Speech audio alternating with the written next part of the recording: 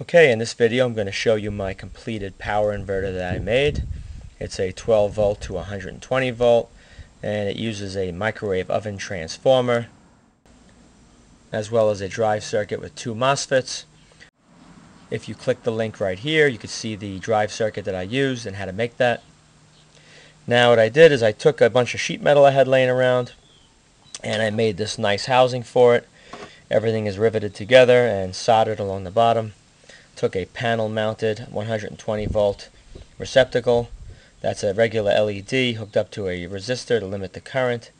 It only draws about 3 or 4 milliamps and this LED will run just fine uh, using alternating current on half the cycle as long as you don't drive them more than 4 or 5 milliamps. If you drive them near their rated output, then when the inrush comes on, usually you will blow them. So when this receptacle is live, you will see that red LED come on. I have a Romex clamp on top. This is 8 gauge wire. The, the unit has a 30 amp fuse on it. It draws maybe 25 to 27 in that range.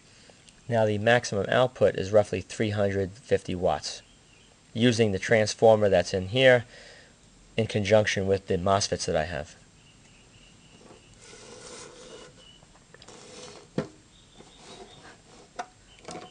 Okay, this fan was removed from an old desktop computer. I just cut a big hole in the side and there's a hole on this end right here, a small one there, but the bottom, as you can see, has a whole bunch of holes. I took a plate from a lavatory light and I soldered it onto the bottom of the whole unit. And by doing that, the airflow will be drawn in through all these openings, past the transformer,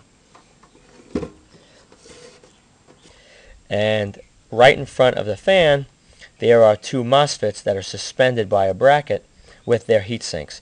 So you're getting maximum cooling for the MOSFETs and the transformer the way this is designed.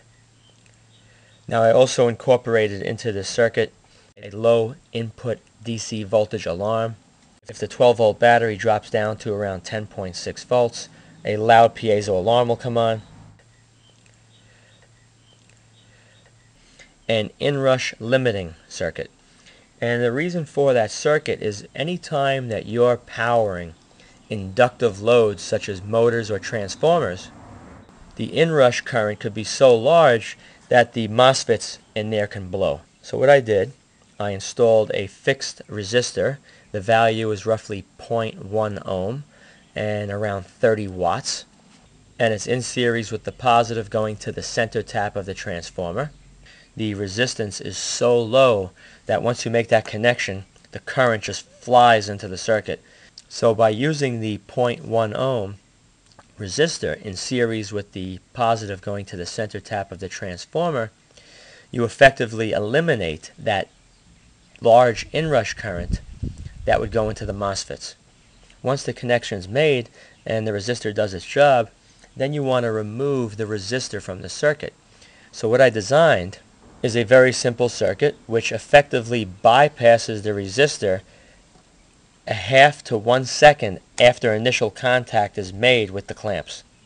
So what happens, the resistor handles the inrush and then a half a second to a second later a relay will engage bypassing the resistor allowing full current into the circuit. And it works perfectly every time. Now the relay I use is a double pole double throw 20 amp and what I did because this circuit has a 30 amp fuse in it I paralleled up both of the 20 amp relay contacts and by doing so I could now handle roughly 40 amps of current through both of those contacts in parallel. And that's exactly what I did here. Okay so what I'm going to do is I'm going to demonstrate. I'm going to use my 12 volt marine battery that's on my inverter generator that I built which you'll see in a minute.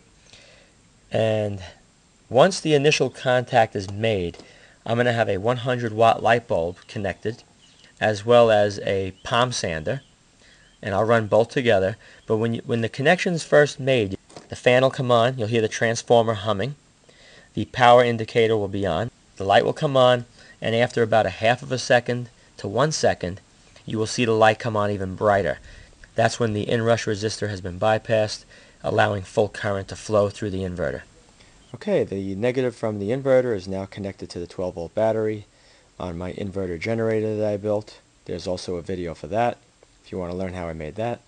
What I'm going to do now is take the positive clamp from the inverter, connect it to the battery, and power up my inverter. Alright, now I'll show you the power indicator will come on, the LED. I'm also going to show you that the frequency is right around 60. This is kilohertz, so 0.060 is 60 hertz. I'm going to turn on the light, and then also while the light's on, the palm sander. Now once I turn the power on, the light will come on. You'll see it come on slightly dimmer. You'll hear a click. That's when the inrush resistor will be bypassed by the relay, allowing full current to go to the light. Alright, here we go.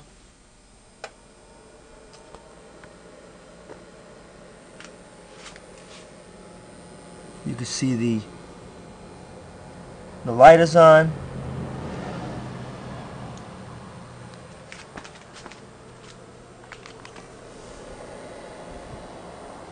Cooling fan is running perfectly, cooling everything. You can hear the hum of the transformer. And our frequency is 060, 061, right around 60 hertz. Now I'm going to go and turn the palm sander on.